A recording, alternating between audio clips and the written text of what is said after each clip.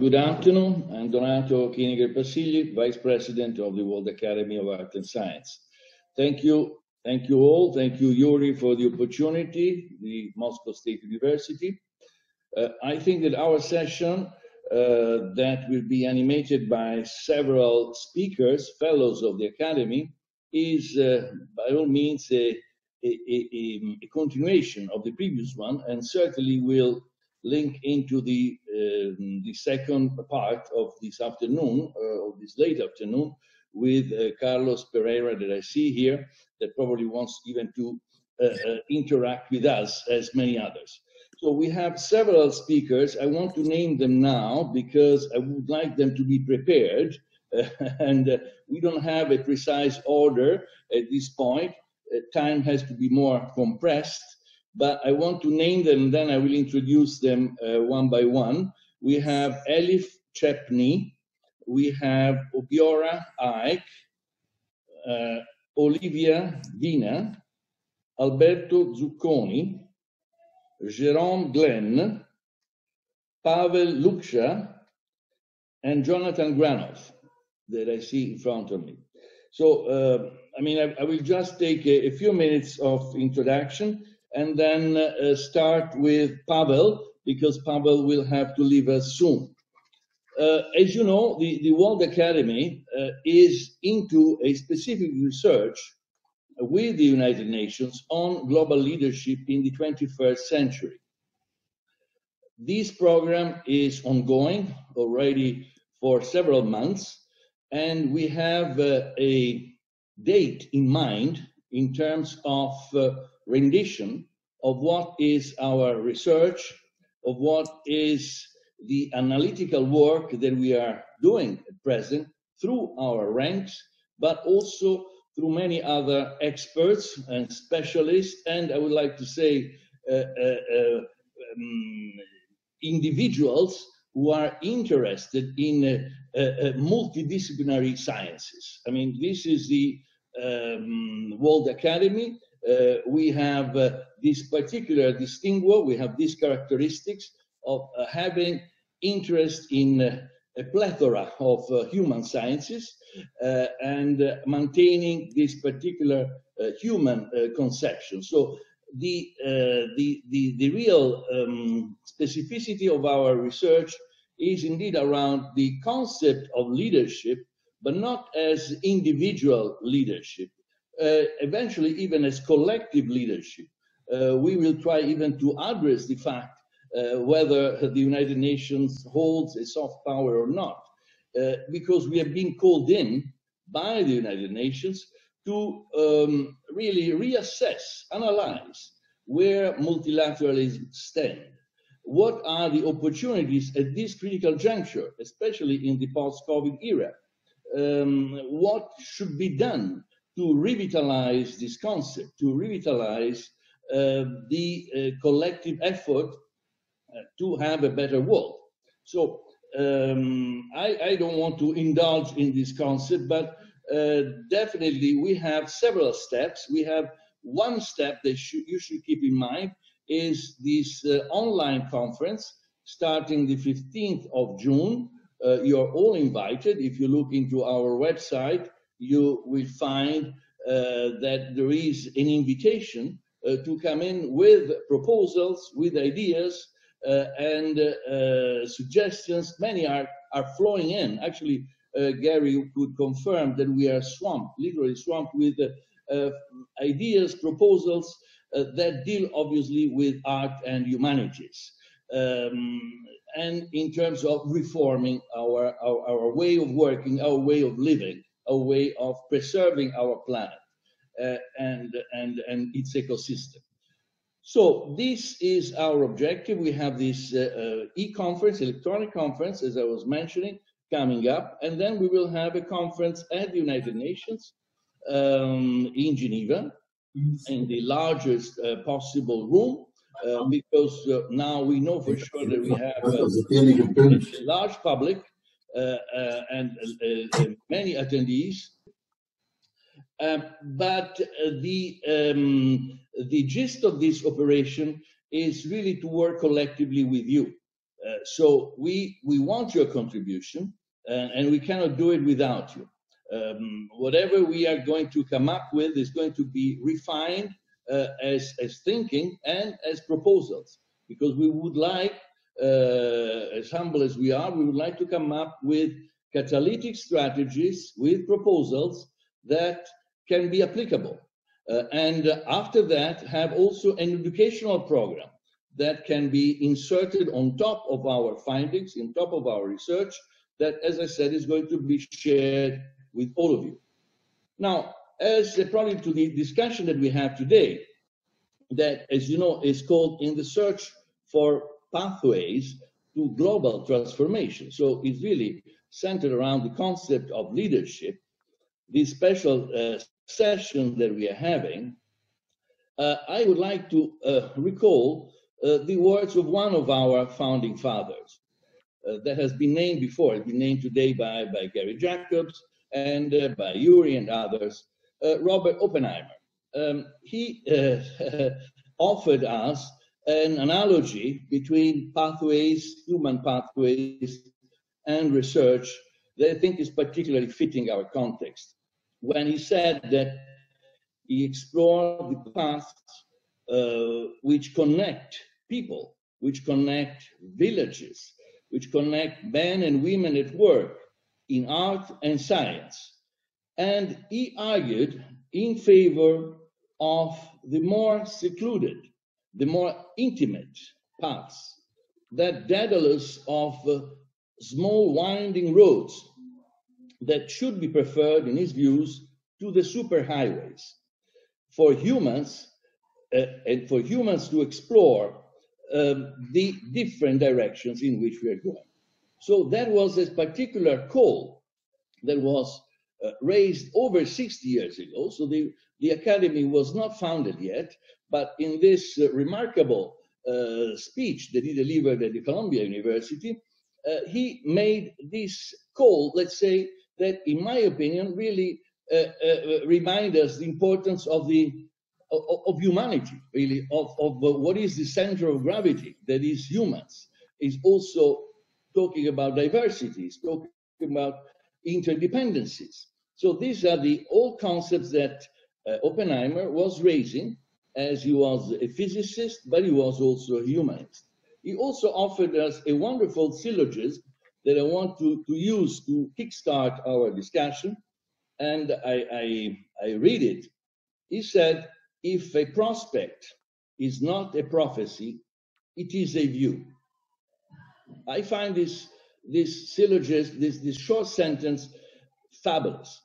Uh, and I'm sure you also find it fabulous, as I do, because it says it all. It says the fact that, of course, we cannot predict the future, but we can offer our views.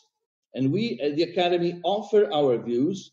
We want to offer our views with you uh, to, to build a better future for humanity. I want to start now with uh, the discussion and call the first speaker uh, is, uh, I hope that Pavel is with us. Pavel, can you raise your hands? Oh, hand. Yes, here. Pavel, are you there? Yes, I'm here. Fantastic. Pavel, uh, you are, uh, Pavel Luksha is professor at the Moscow School of Management and he is a leader in innovation and educational program. He's also founder of the Global Educational Futures Institute. Pavel, uh, a quick question for you. Uh, what pathways do you prefer? Do you prefer the highways or you prefer the small winding up roads? Well, I think I think we we deserve a combination because uh, uh, a good road work uh, system, like in uh, France, for example, which has the densest uh, network of roads, has, has that combination. So you can take a, a, a fast highway, but you can also quickly switch to a winding road, but which can take you to really particular places. So we need a combination.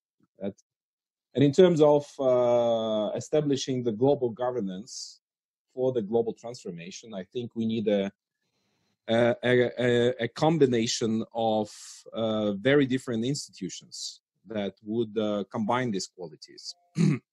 and so, actually, I know that we have limited time, and so there are only three or four minutes for a speaker. So I will not uh, make a long introduction. But listening to the previous session, I think um, even from what I hear, I, I sense that we still are attacking, uh, let's say, nuances and peculiarities rather than try to look at roots of uh, the crisis we are facing. And when we talk about the climate crisis, it's a symptom of much more, let's say, fundamental crisis of uh, overshooting the plan- planetary boundaries um, that our civilization ha- has finally reached. Uh, when we talk about uh, the crisis of inequality or or different aspects of political crisis, it's it's an aspect of the crisis of complexity. Our civilization evolving to become increasingly complex, and as some uh, scholars of that dynamics, uh, such as Joseph Tainter, have shown, it's actually that the, uh, the, the, many complex societies of the past collapsed because of uh, in, inadequacy of uh, their own culture, inability to manage the complex, the complexity of of their uh, of their civilization itself, its its own institutions, the, and, and so on. So we we are dealing with much more fundamental uh, crisis that basically challenges the whole model of, of the present civilization. So when we talk about the, the global transformation, the question is what is that transformation towards? And so it's, it's, it's essentially a change of a paradigm. I think a lot of people in this in this room share. The, and but what what is the essence of the new paradigm? I think the idea of creating civilization that is sustainable is not enough. We need to think about civilization that is evolutionary stable that is able to continue evolve for many millennia in the future and that would uh, be based on the principles of thriving of flourishing that would uh, enable flourishing for every living being on the planet not only humans but other uh, living beings that entails the post-anthropocentric worldview that we need to cultivate so it's a very multidimensional process that we are entering into. That is not just uh, the matter of changing the, the governance institutions such as UN. It's it's much much more fundamental, and it's a transition that may take uh, decades at least, or maybe even hundreds of years. And so, in that regard, the question is how do we establish that? And yes, we need uh, large scale superstructures that can accompl- uh, uh, accomplish that uh, transition. Um, nation states will they will, will probably be there for quite a long time. Uh, superstructures of 20th century will remain and will play their role, but we need to establish new governance systems. We need to establish new uh, pathways. For example, the idea is that there are a lot of people that are, are, try to operate in the grassroots level as movements, as as local initiatives, and uh, and the number of people and institutions that try to operate in the let's say higher ground. There is a lack of institutions that actually connect these these two. The well, let's say meso level, something that would be able to connect those let's say little roads and those highways, those uh, small scale initiatives, localized initiatives, and global initiatives. That's one thing that we need to focus on. We need to focus on creating. In order to th- create those things we need to establish new models of leadership. We are working with that a lot in education. We call it ecosystemic leadership in education. This is educa- uh, leadership based on let's say organic and complexity premises but we see the same type of leadership emerging in many many other sectors of uh, economy and society from urban development to transportation, ICT, many other sectors. It's a different premise. The idea of holding the complexity and enabling many players, multi-stakeholder systems to evolve uh, as a whole, evolve and not be directed and governed. So that's a different, let's say, level of uh, complexity that, that is put into the governance systems.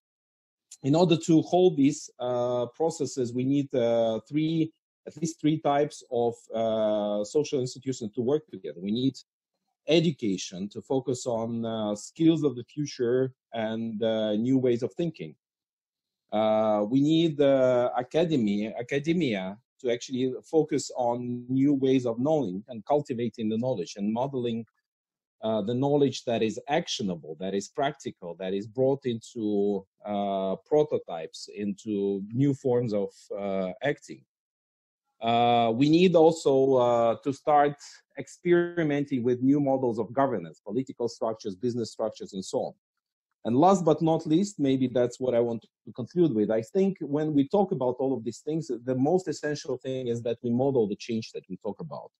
We, uh, unless we, people who think about it, become um, uh, not just uh, sensors, not just uh, sense makers of the change that is needed, but we become the model of the change. We prototype the system that needs to come into being in the world. Unless we do it by ourselves, this change will not come. So in the end, the pathway to transition in my, or the global transformation, in my opinion, is us, the communities of uh, global change leaders that are sensing the need, that are establishing the need, and that are bringing communities of change leaders together.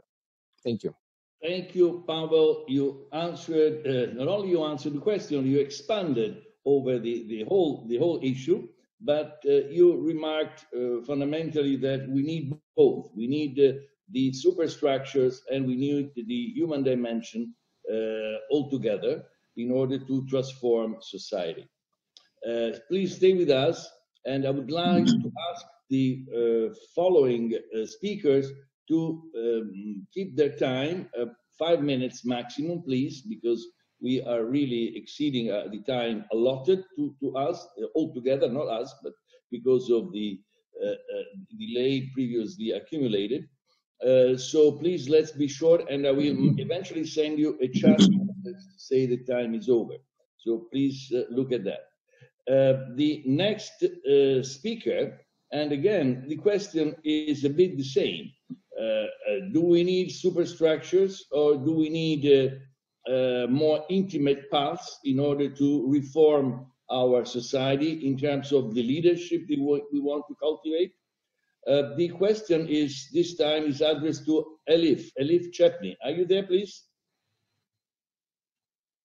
Elif, yes. Hi, hi, Donata. I am here. I am here. Elif, oh, nice to nice to see you, Elif. So, uh, Elif is uh, the dean of the business school of Karabük University in, uh, uh, in Turkey. And she's also professor of economics and behavioral sciences. Um, so, well, as I said, the, the lingering question is, is the one that comes from uh, our own history, from Oppenheimer. But the more precise question is uh, what are the values that we think we should embody? Um, and, and how do you reconcile individual values with collective values if these values are fundamental of are of fundamental importance to change our society. Uh, hi to everyone. Uh, thank you, Donato. Thank you to all of you. I took very fruitful notes from each speaker. Um, my my speech will be on uh, in in this post normal time how we can redefine value. What is value? Some companies are creating value some of them are extracting value some of them are transforming values, but uh, we just measure uh, their values with some commercial uh, values. So uh, as we all know, individual and collective interests, generally they don't overlap. So that's why uh, we need new reforms, new perhaps uh, regulations in, in some markets, in almost all markets, in the goods market, in the labor market, in the uh, money market. Why I say this? Because, uh, you know, this time period is called post-normal times, as you all know. We are surrounded with unknown unknowns, contradictions, and complexities and chaos. Uh, complexity means what?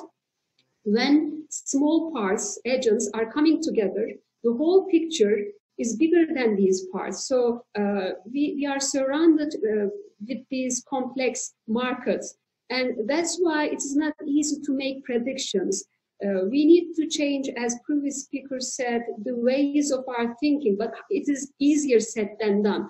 we need, I think, independent independence of independent authorities. We have UN, wonderful officials, experts, scientists, but as you all know, countries they try to be involved in the decision-making process of these independent institutions with their financial contributions. So perhaps uh, this pandemic showed us what uh, for our common problems, uh, perhaps uh, we need to assign bigger independence to these authorities because I don't want to blame politicians, but experts, scientists, uh, they know uh, more than uh, politicians and they can come together, they can work together and they can offer better solutions to our, I think, common problems. So to define, redefine value, what is value? And because there are some important sayings, some uh, scientists they improve our uh, the quality of our life but sometimes they destroy our life. Uh, these modernity brings lots of problems with it. So we need to perhaps uh, develop new curricula for for not only for students for everyone lifelong learning. And uh, we need to work we need to stop teaching predictability because the future cannot be known. As the 2008 economic crisis the CFO of Goldman Sachs said, we observe movements uh, uh, beyond 25 degree, 25 standard deviation away of normal, which, which means within 1 billion years it could uh, be seen only once. So uh, by checking the previous trends, because the world is changing very rapidly thanks to information technologies and um, communication technologies. We have machine learning, artificial intelligence, virtual reality, the end of geography, gene coded coding, and etc. So uh, to to not to alienate people, we need to create new GDP calculation, new metrics, happiness, and when we are creating a value, we are destroying some other values. So we can put a soft pressure on uh, companies their goodwill. For example, what is the brand value of Microsoft? But if they are not paying respect to our common interest, to, to um, they are sending their waste disposal to the environment, they are causing uh, pollution and etc.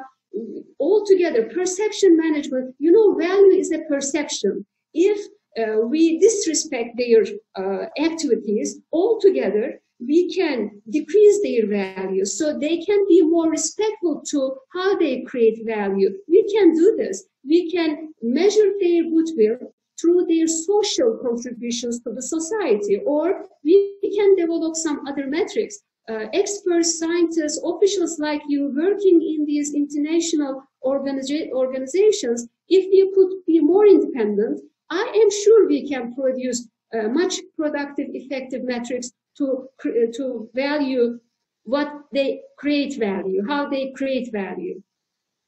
Elif, thank you very much. You've been succinct and precise and give concrete suggestions on how to also change the metrics and change the, the system that education should be uh, uh, uh, should be shaped around. Uh, now let's continue uh, in this vein uh, with Obiora. Obiora, are you with us? Hello? I'm there. Okay, Obiora, yes, uh, you are a theologist, a scholar, an author, and uh, you have intervened also in the previous session today. So you, we heard from you already uh, as director of Globethics.net, but uh, maybe you can uh, give us uh, some sense of what are the values in also from a theological point of view that you think humanity should not only preserve, but should uh, really put forward as, uh, uh, uh as the, the, the main reference uh, for, for, for our own civilization. So what are the, the ethics that you think should be purported, purported in higher education uh, and what action do you propose? Um, very, thank you very much, um, Donato, and to all the colleagues um, from around the world. Um, the point is very um, clear that in a situation of uncertainty, human beings need to be stable about a few things. We need to be assured about specific values. We need to know what it is we can hold on to. On the platform of ethics, on the platform of values, we know that life is something every human being desires. Animals desire to live, not even those things that are plants. So life is a principle that each wants to have, wants to guard, wants to preserve. So building an ethics around life is a key component of the agenda, I think, that we must pursue following the question of pathways to transformation. The second point is to say that what we do at globethics.net in Geneva is to build a global consensus of, especially on the youth, on their teachers who are found in higher education institutions. How do you ensure that higher education institutions transmit value. But how can higher education institutions get value and ethical orientation if the teachers do not have? If we look at the larger society and see the problems everywhere in the world, it starts small. If people steal, there is dishonesty, there is plagiarism, there is sexual harassment, there is wickedness, there is um, stealing, there is um, fake, um, uh, and so on. You will discover that these are things we consider unethical. But when people are taught in education, even from childhood, to behave in a certain way that guarantees them a certain integrity, when they do research around these topics, balancing it also with the rational mind, with finding out why I should do things rightly knowing that to do them wrongly will result in an overall collapse. So this is where the action has to be. Action around protecting life, preserving life. So what Globethics has tried in the past few years to do is to look around the universe to figure out how universities can partner with each other to do research around ethics. Look at the rankings we do of universities ranking about the best that have produced something scientific. There is no ranking around ethics, for example, about when they say knowledge and character. How do you measure character? But exactly upon character, all of us depend, the goodness of the other. So COVID is an invitation to think twice on the paradigms we took for granted in the past.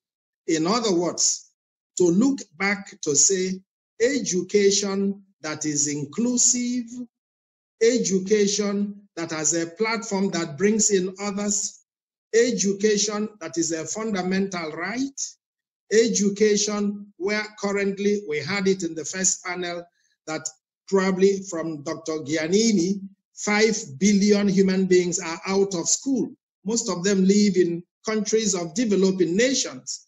And so you create already a gap a gap of those who are going to school, who have access, and those who don't have due to many other reasons. How do we bridge this? So globethics.net tries to use then the values of empowerment, of transformation, of integrity, of holistic approach, of competence, and even then of sustainability in building those values that society should call constant basic needs. It is a constant basic need. And on this, I would like to end this intervention.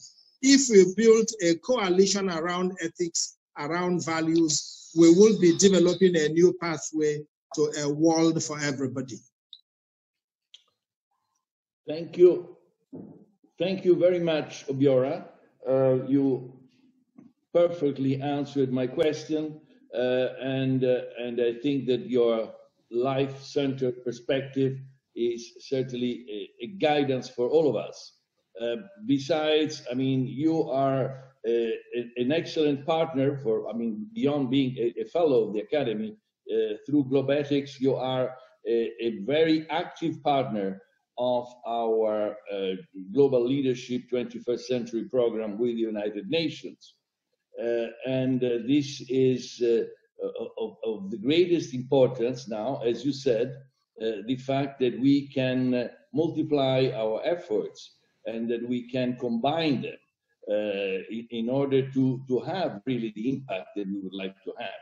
So the all all your um, different positions come together. I mean, your positions as Globethics, other positions that we're going to hear from. I mean, they all are going to be reflected into our ongoing uh, program with the United Nations.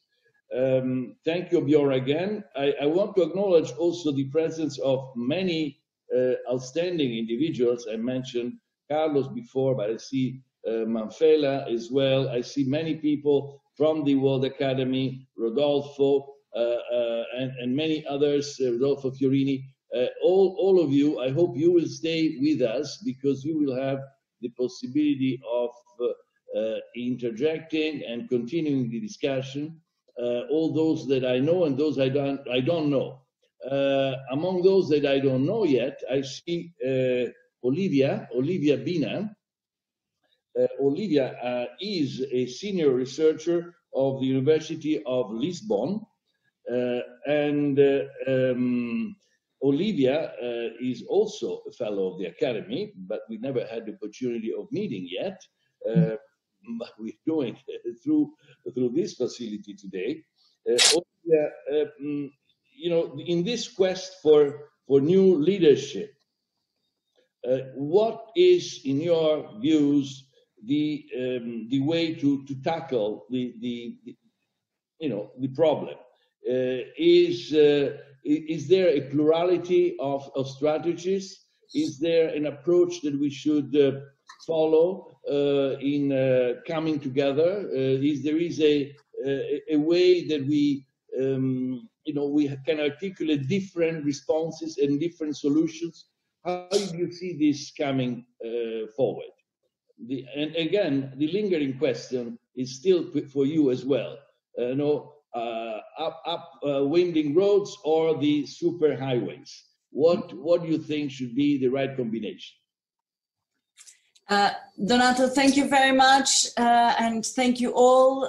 Thank you for the invitation, uh, and I'm really grateful for the previous speakers because a lot of very important concepts have already been presented. So um, I, I, want to say a couple of things, um, trying to address Donato's challenge of uh, on the issues he's posed. The first is that I find it extremely difficult to talk about anything at the moment without really starting from the situation that I feel we are in.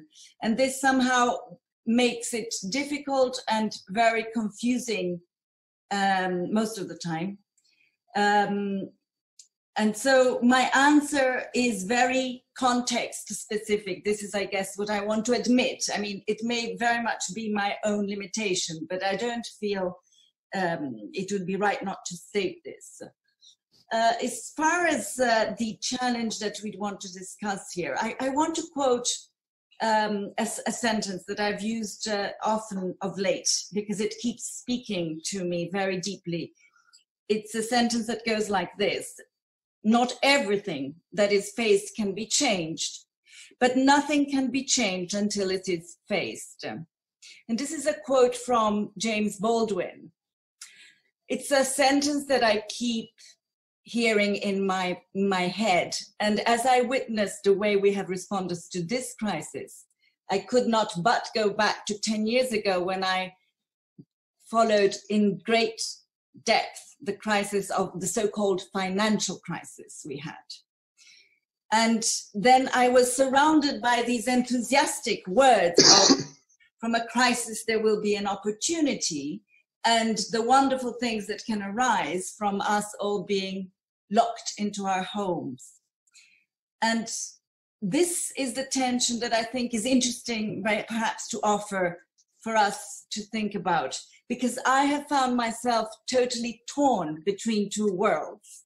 I sit in a beautiful flat in the middle of Lisbon, and sure, this is a fabulous opportunity. First, I don't have to travel. I have time to think, do meditation, reflect on the meaning of life and the sense and purpose of it all. But I have friends who live in very different places, and it is agonizing to think what they are living. And so every day I wake up and I think, am I going to look at the opportunities of this crisis or shall I collapse to the pain of what is happening?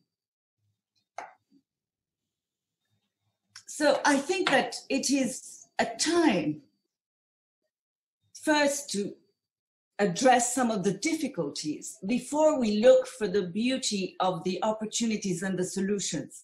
So forgive me if I'm not going to give wonderful solutions here.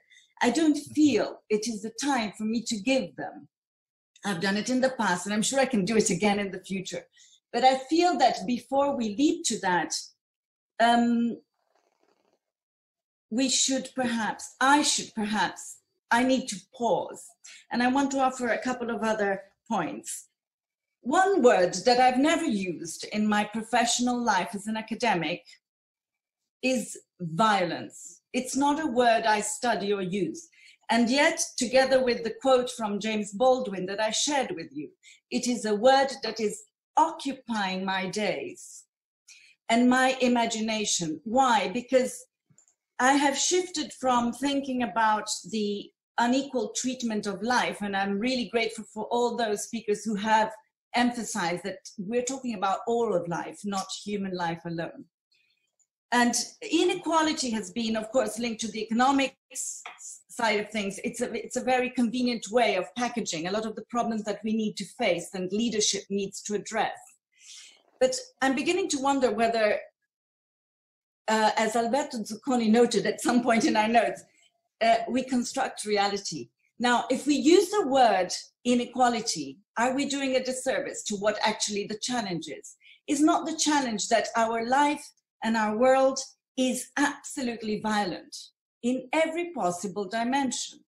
If we change, if we switch from talking about inequality, which is already bad enough, and I can tell you lots of my colleagues don't particularly even like to engage with that concept, but we engage with the concept of violence will that make it different?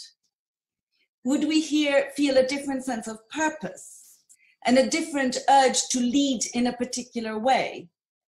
So these are questions that I have, and I don't have an answer. But to close, um, so if we can see the problem and we can face the problem and we can define the problem as that our systems are violent, cause violence and suffering, yeah, can we then look at diversity and plurality as one possible route? Perhaps it's a motorway. I don't know whether it's a set of paths. Maybe both, as some of other speakers have spoken. What do I mean by diversity and plurality? Let me give you one example that I work on. Biodiversity and the policy of biodiversity. The United Nations has a convention on it, yes, and so on and so forth. We know that we are facing the sixth extinction, but it doesn't seem to matter very much. Even with this crisis, in theory, we could be talking a lot about life other than human, but we don't really do that very much. The point about the Biodiversity Convention, as an example, is that it shows how unable we are to actually embrace diversity and plurality. They are two different things. Plurality is basically the political discourse and the, this, the democratic space, yes? So biodiversity, uh, sorry, diversity and plurality to me emphasize the violence of the system that is global. And even I took issue uh, almost to as a pun, but it's it's perhaps useful. Our title is Pathways to global transformation. But global, which is different from connected, embodies also a huge amount of violence for a lot of us as globalization processes. And transformation begs the question for whom and for what and why and who wants to transform to what. So I would need to open, I would like to open up those, all those questions before I find whatever motorway or pathway. But certainly, one area where I'm trying to get my head around is the need for much greater space for diversity and plurality in whatever term we want to engage with.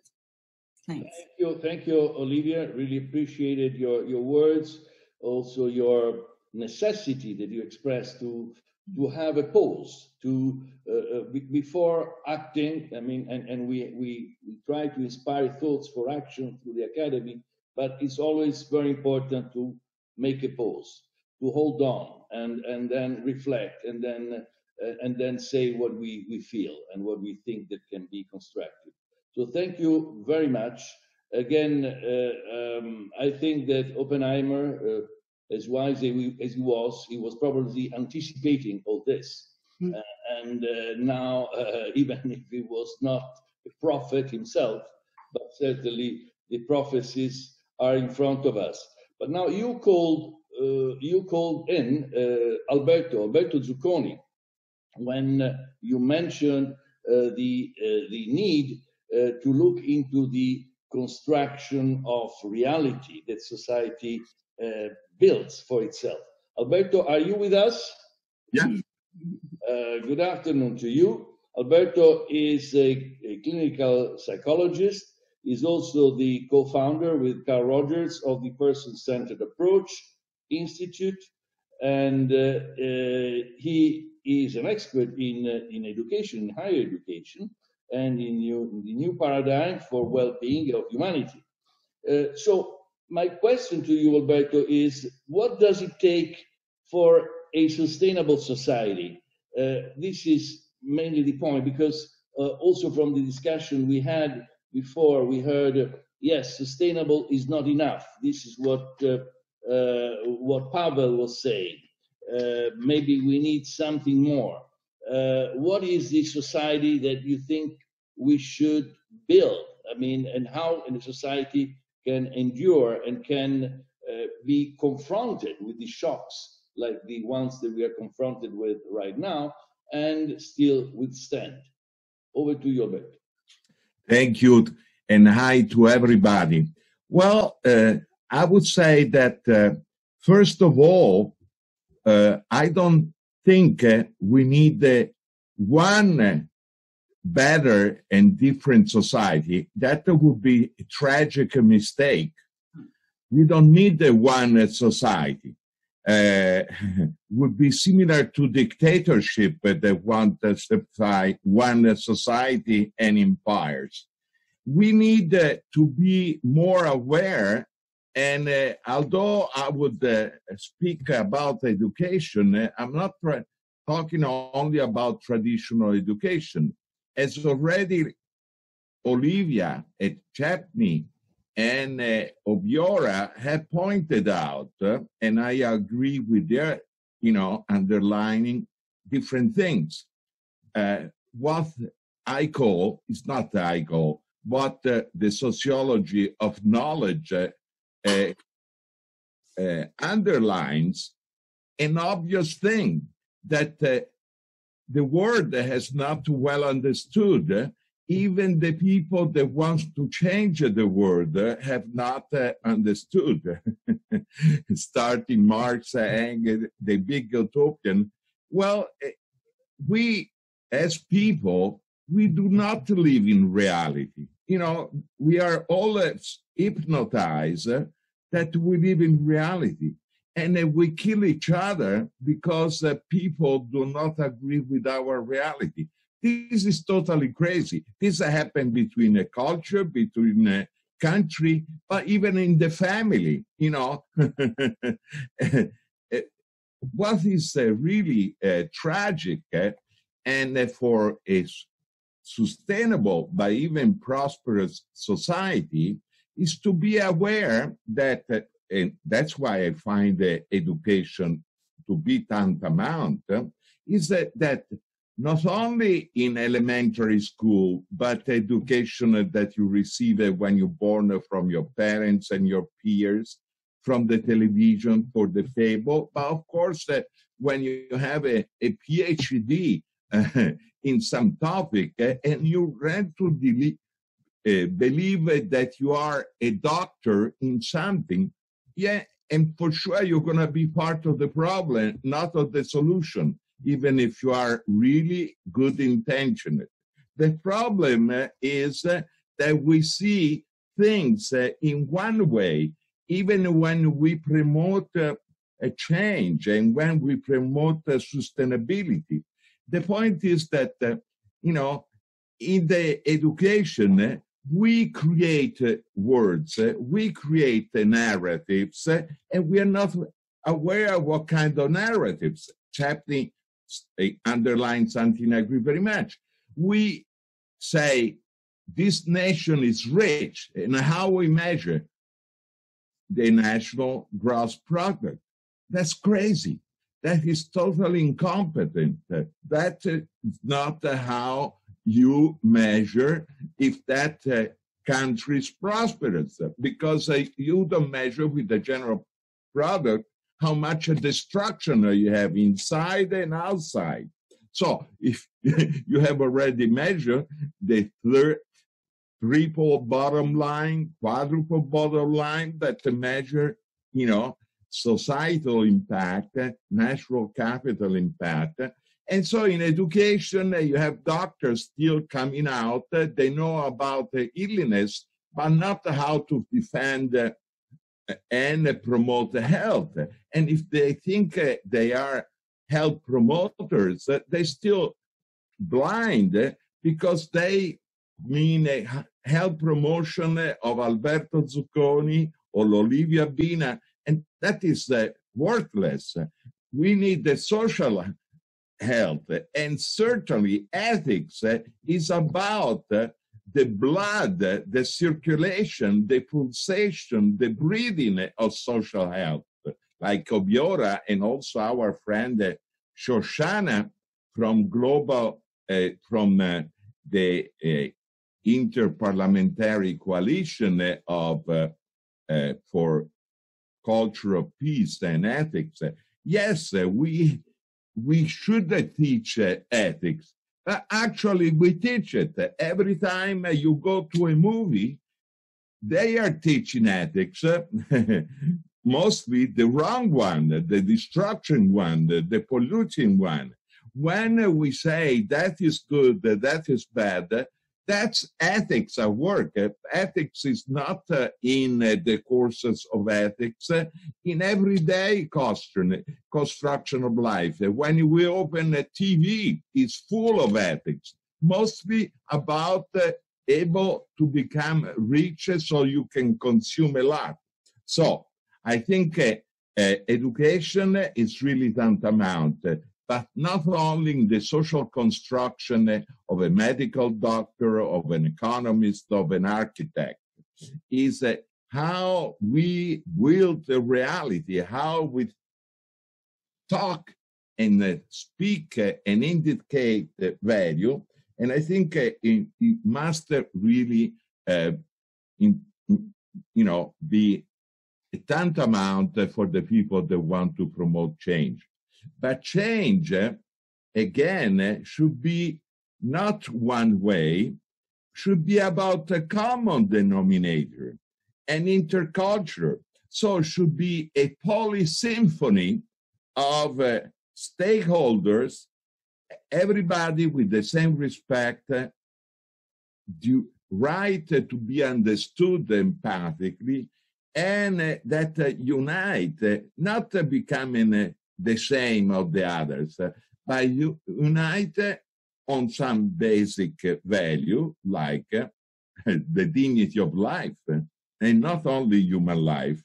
And so I suggest that if we educate each other by listening to each other with more understanding and respect and empathy, we could go a little bit ahead and also a lot understanding not what is reality, but how reality is construed so you can understand how to use energy with a good relationship a cost benefit to promote change that is not only sustainable is also also also valuable to every living thing. That's it. Thank you, Alberto. Thank you very much for this uh, explanation, for your deep analysis, and uh, for, for also putting a lot of emphasis on the role of education for all of us, and uh, for, I would say, the, the importance of uh, uh, listening. Listening, you said, is so important, listening to others. And, and this construction of reality mm, that somehow echoes the same uh, issues that Olivia was mentioning before uh, when she spoke about perceptions. I mean, the, the importance of capturing those perceptions that in the end become reality. Now, uh, we have uh, other two speakers in, uh, in this panel. The next speaker, Jerome, Jerome Glenn, are you with us? Yes, I can yes. see. Uh, Jerome, uh, Jerome is a futurist, for those who don't know him, is the executive director of the Millennium Project. Uh, Jerome, we, from what we heard, we are moving towards different scenarios in terms of the future uh, of humanity, in terms also of the leadership that we want to generate. Uh, what is your uh, understanding? What, where, in which direction are we moving? Um, and again, the question is also for you. Uh, do you have a preference in terms of the uh, small winding roads or the superhighways, or again, you think that we should use both?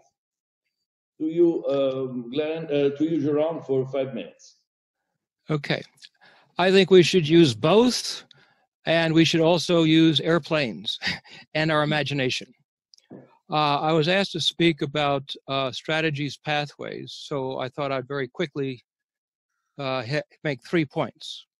The first is a strategy for the transition from the information age to the conscious technology age is building synergies between the knowledge of the technocrat and the attitude of the mystic. We are in the process of micro miniaturizing technology, putting it in and on our bodies, and externalizing our awareness and our knowledge and so forth into our physical environment. When we have a continuum between consciousness and technology, in a way that we simpler have a continuum here between I'm talking to you, and you're talking to me, but we're really not. We're talking to a machine but we sort of create a, a, a perceptual space for that. When civilization does that, that would be a conscious technology civilization. If that civilization is good, in my judgment, it'll be because the mystic in ourself and in society and the technocrat in ourself and in society somehow work on those synergies to make it okay. The second point uh, is that the Millennium Project's 15 Global Challenges is a framework for understanding and anticipating global change. We've got to be able to wrap our mind around all of this and have a way of doing it. In biology, with the body, we have it. We have the respiratory system, the skeletal system, all these systems. So we have a, a, a system of understanding our, our biological functions. We can do this on a global basis. The 15 Global Challenges is our offering. Been doing that for 25 years, updating it, and it's a way of managing uh, understanding of global change and where it may be going. The third point uh, was very nicely made by the speaker from UNESCO about collective intelligence.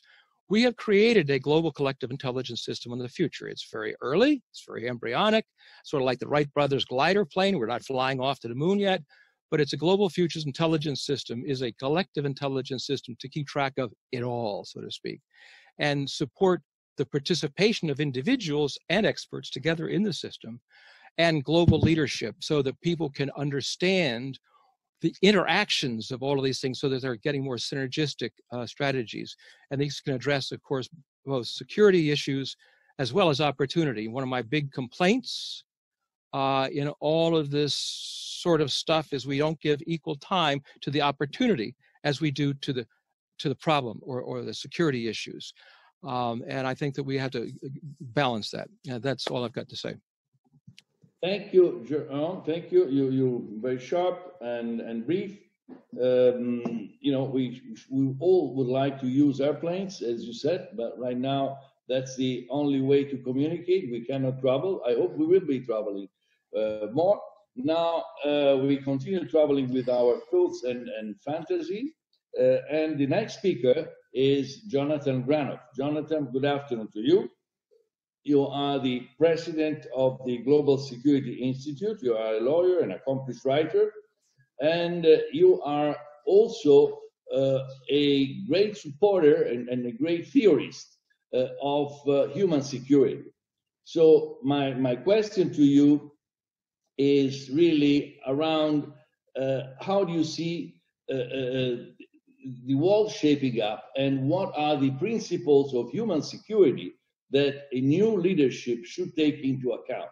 What are the most important principles of human security in an era that, of course, will still remain uh, uh, uh dependent and uh, from from many variables, uh, but we know for sure that it's not disarmament only that makes us more secure.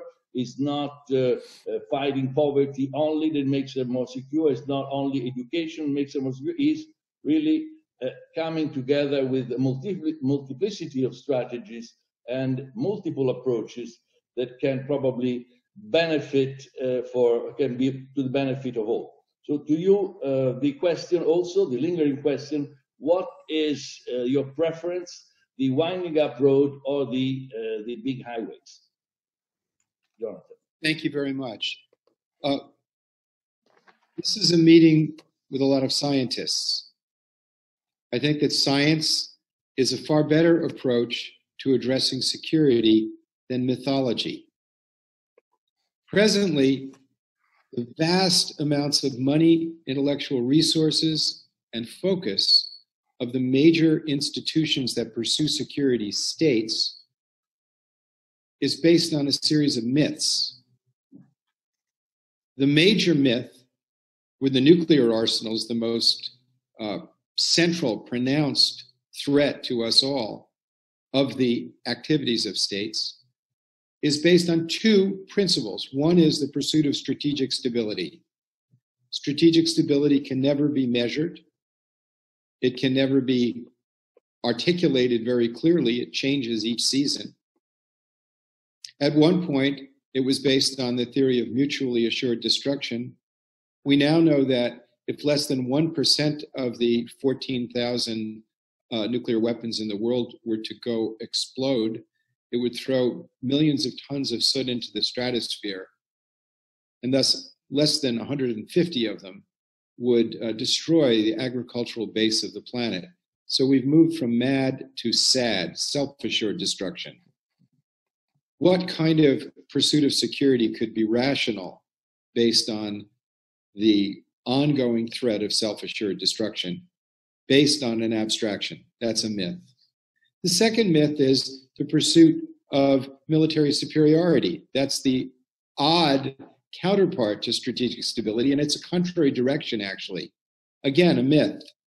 It did not prove uh, realistic in the Soviet invasion of Afghanistan, nor the NATO invasion of Afghanistan, nor the United States war with peasants in black pajamas in Vietnam military superiority in an age of high tech and increasing capacity of fewer people to do more harm in uh, less time with less resources is totally mythical. So I look at what are the real threats that we have, and also these threats of nuclear annihilation and war. These are threats that we recreate in the concept of the security of the state in derogation of human security. Human security is the first duty of the state. The first duty of the state is to make the citizen secure. And in today's world, the, any state cannot make its citizens secure without global cooperation to address global threats. No major business can function in today's world without recognizing the global market. No individual's health can be secure without recognizing global health. Last I looked, viruses don't carry passports. They don't care whether you're rich, poor, black, white, Muslim, Christian, Jew. And uh, so we need to look at realism. What are the real threats that we face? That's what security is about. Real threats relate to the health of the phytoplankton. which is uh, organisms in the ocean that provide 50 to 70% of our oxygen. If that uh, ecosystem collapses, and it might collapse given the pollution of the oceans and the, the, the climate we're affecting, you and I and everybody on this call and everybody we know and everybody we love and all the grandchildren we might have will all die. That's real. And that's being uh, that is being corrupted. The health of the phytoplankton is at risk because of another myth, which is an infinitely expanding economic order, mythical, because the planet doesn't sustain that. The very the very health of the climates. I was in Greenland uh, last summer, and I saw the billions of the billions of tons of fresh water that's been, you know, locked there for billions of years just flooding into the oceans. You have to see the scale of it. If 100 years ago we had planned on melting the polar ice cap, we wouldn't be able to do it. But now we've set up an economic order that's doing it. That's mythical. That's mythical thinking. The health of the topsoil, the health of the water table, the health of our immune systems. These are all measurable, they're all technically solvable. The problem is we are following mythical thinking. Now, I say we need to what I call progressive realism, which is applying the lessons that the scientific community has acquired to addressing the collective threats we have. And one of the impediments to this is the nation state system as the, as the locus of security. So we're pursuing secure states without secure people. It's absurd. We forget the origin of the, of the modern state was largely to end uh, mythical thinking of whose definition of Jesus' love was preferred in Central Europe. And thus we had the treaties of Westphalia that stopped the 30 Years' War. So the purpose of the modern state was to express the value of peace and security.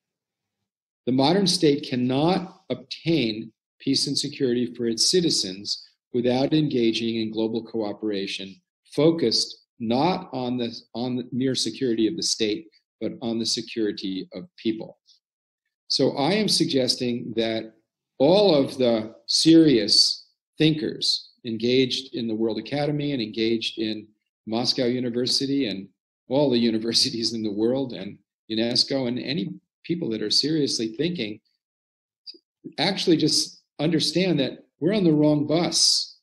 The bus of pursuing improved weaponry, if the goal is security, we end up with improved means to an unimproved end. The more we perfect the weaponry, the less security we obtain. We need to cha- fundamentally move from mythical thinking to realism. And one last point Human security, to be realistic, has to include an aspect of human beings that makes us a unique creature on the planet. Not only because of our intellectual capacity are we able to literally destroy the natural world, but we're also able to, uh, to express profound values. That's what makes us human compassion, love, justice. These are what make us human. So you cannot do realistic planning for a creature that's a moral creature that gives meaning to our very existence. An existence without love, an existence without justice and compassion is an empty existence. We don't just eat, sleep, defecate, and die, and procreate and die. We pursue meaning. And therefore, therefore, there are certain universal principles of ethics that we have to recognize and bring into practice.